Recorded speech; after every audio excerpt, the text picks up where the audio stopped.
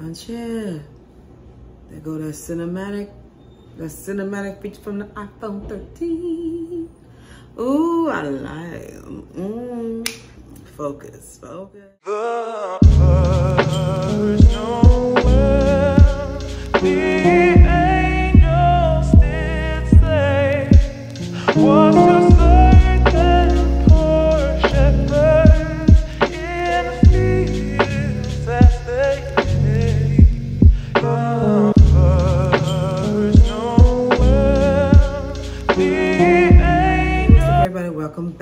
My channel. If you are new to my channel, I'm Veronica Charnell.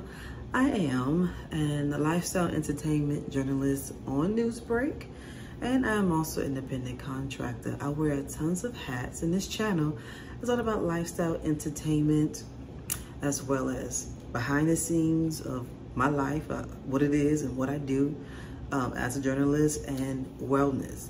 So, for those of you who's joining me from Newsbreak, that's watching from this Newsbreak article that I have recently posted, because the link is in the article. And if you're watching me from this video from YouTube, hello, hello, mwah, mwah, to both of you. I recently went to Michael's in Greenville to see what type of Christmas decor they have.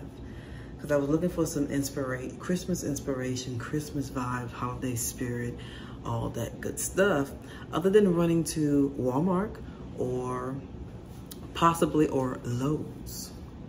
Now, we, we know there's different places we can get our Christmas decor. Some of you have been gifted to create and to and to build your own Christmas decor. Shout out to everyone who does that, that um, do-it-yourself projects.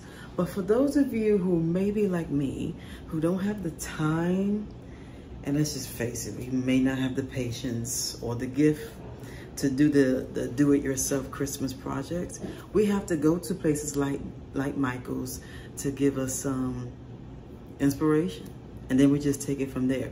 So this video is all about my trip to Michael's to give you a behind the scenes look of basically what I saw. Michael's has some, I was kind of surprised, to be honest with you. I didn't think they had some of the things that I saw. It was kind of cute and it was unique.